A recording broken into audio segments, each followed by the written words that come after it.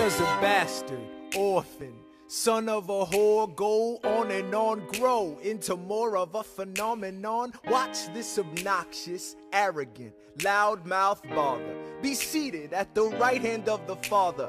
Washington hires Hamilton right on sight. But Hamilton still wants to fight, not right. Now Hamilton's skill with the quill is undeniable, but what do we have in common? Reliable with the ladies. There are so many to deflower. Ladies. Looks, proximity to power. Ladies. They delighted and distracted. And Martha Washington named her feral tomcat after him. That's true. 1780, a winter's ball, and the Schuyler sisters are the envy of all. Yo, if you could marry a sister, you're rich, son.